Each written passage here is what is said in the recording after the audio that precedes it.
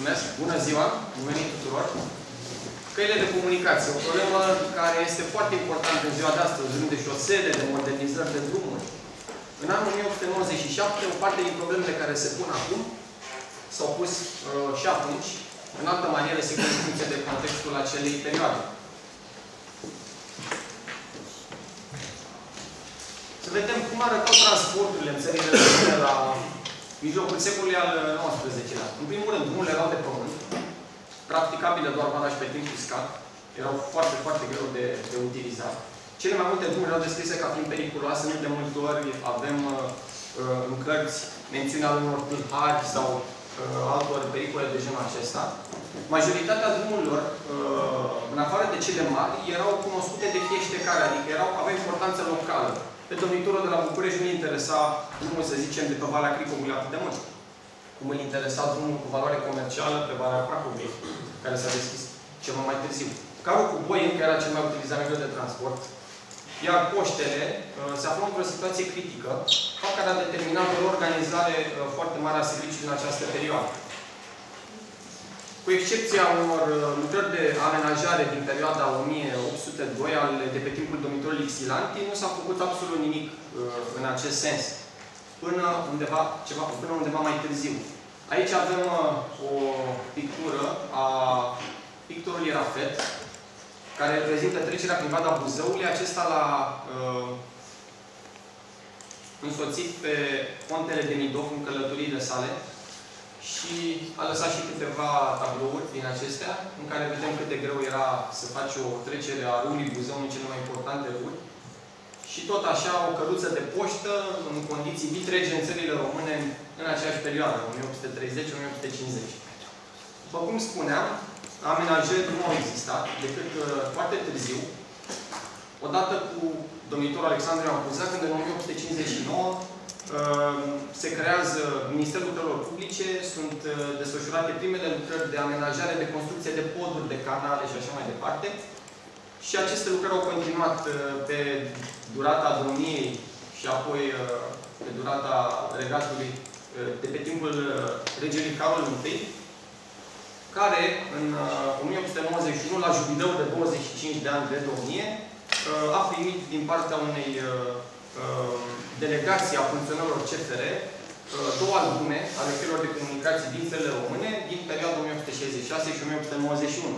Ce spunea regele Carol la vederea acestor albume? Uh, el, albumul, va aminti trecutul și prezentul și însemnatele lucrări de drum de fier pentru care am lucrat și luptat cu multă energie de la începutul domniei mele văzând în căile de comunicațiune, un mijloc puternic pentru propășirea și dezvoltarea bogăților țării. Vorbim și de perioada când au apărut căile ferate 1869 prima dată. În acest context vorbim despre un album ceva mai complex decât cele anterioare, al căilor de comunicații din țările române în acea perioadă. Avem aici reprezentat județul Ilfov, mult diferit față de ceea ce știm noi astăzi, iar uh, cu, aceste, cu acest album, cu aceste planșe, vom încerca să uh, vedem câteva informații. Cine le-a făcut?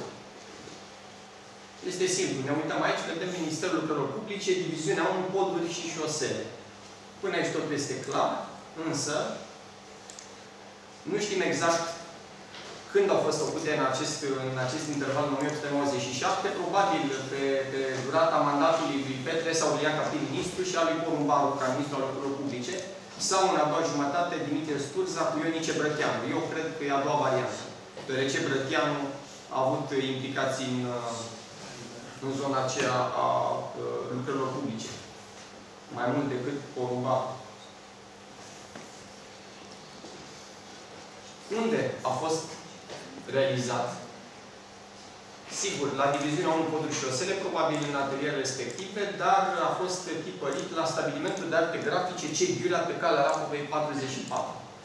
Calea Rapovei 44, în perioada aceea, era o arteră destul de importantă, mă rog, calea Craiovei, podul Caliței, o zonă de boieri. Aici aveau casele, uh, inclusiv mătușa Nicolae Bălcescu, Nicolae Băleanu, uh, Saft Argentoianca, uh, Fălcoianu, Colonel Fălcoianu și alții, în zona Antim, pentru cine cunoaște orașul București. aceasta la 1846. Mai târziu, foarte multe din casele boierești au devenit uh, uh, case în care s-au organizat școli. Aici au apărut foarte multe licee.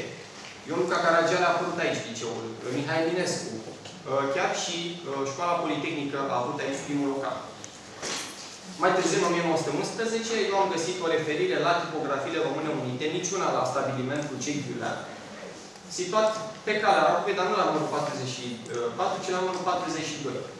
Ulterior, în 1926, uh, dacă nu mă înșel, uh, tipografiile române unite, care din punctul meu de vedere au incorporat și uh, cei Ghiulea, au vândut o mare parte din teren liceului Domnița Ileana, care ulterior a devenit Mihai Eminescu. Ce cuprind hărțile respective? În primul rând, merită menționat că sunt făcute la scara 1 la 200 de mii. Uh, avem un total de 32 planșe colori, câte una pentru fiecare județ al României din perioada respectivă. Nu avem înscrise, din păcate, alte detalii de realizare, cum ar fi proiecția sau, uh, eu știu, uh, autorii propriu-ziși, și prezintă un grad destul de ridicat de generalizare. Vă dați seama, la scara aceasta,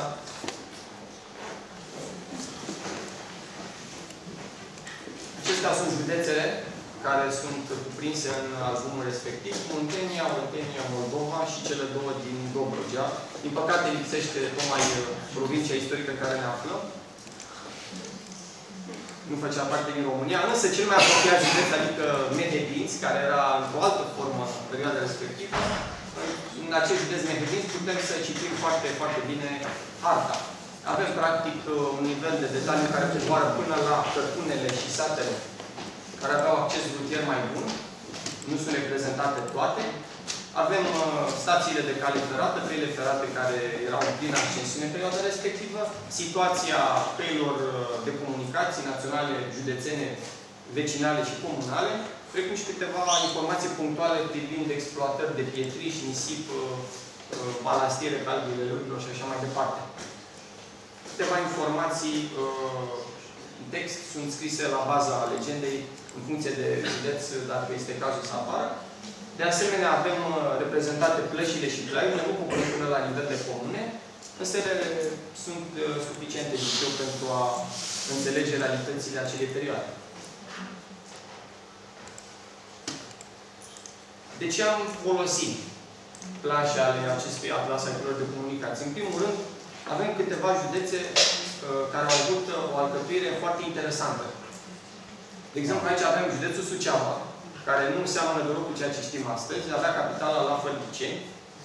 Orașul Suceava nu era la noi, era undeva Bucovina, cum scrie la nord. Și avea o formă extrem de interesantă pe Valea Râului. De asemenea, Vorbim despre noi spații colonizate. În perioada, la sfârșitul secolului al XIX, apar o grămadă de sate de proprietăriți în zona Câmpiei Bărăganului.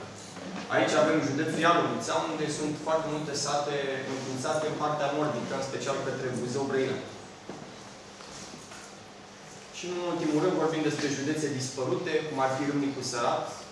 Am dat acest exemplu deoarece mi este foarte apropiat, dar avem și Blașca, desigur, și Mușcel, foarte important.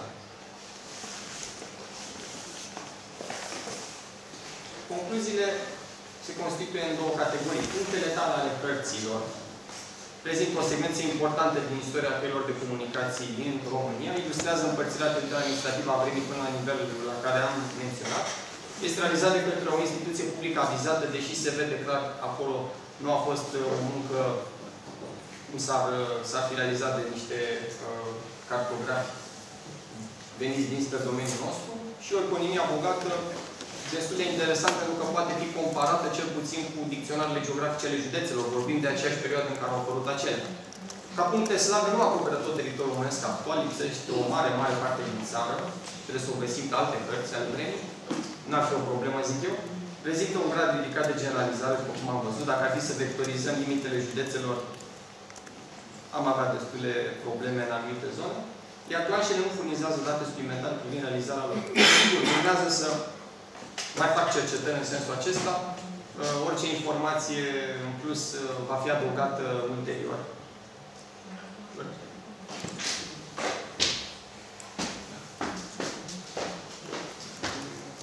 Și o să încercăm acum să să punem pe site, la secțiunea download, uh, albumul celor de comunicație.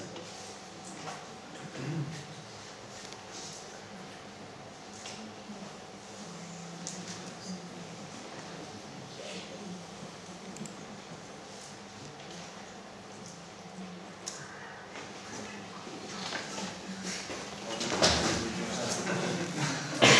e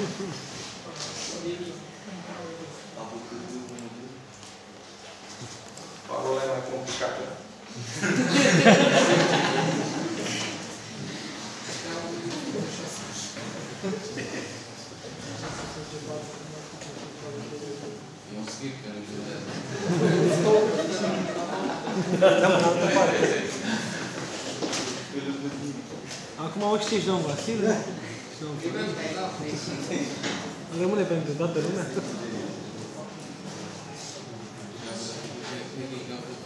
Da. Da, da, da, da, da. Putem? 3, 2, 1, we have a winner. Puteți verifica?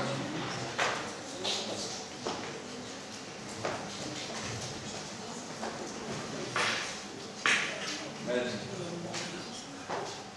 Puteți verificați de ale cu tombul? De ce tu nu poți? Mi-am notat.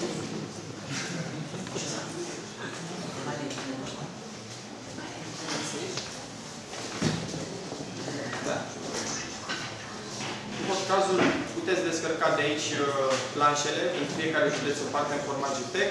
Ulterior va fi adăugată o interfață mai uh, puternică în care veți găsi și planșele georeferențiate, gata de lucru oricând. Și în ultimul rând vreau să mulțumesc uh, în numele comunității domnului profesor Rus de la Babeș Boia, de la Facultatea de Geografie din Cluj-Napoca, pentru că ne-a pus la dispoziție acest album, care va fi cu siguranță folositor pentru un din ele.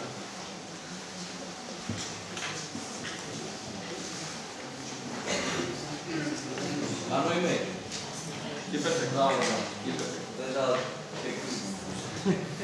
Imagina aula. Mas isto para lá. Já beleza de fogo. Porque está a câmera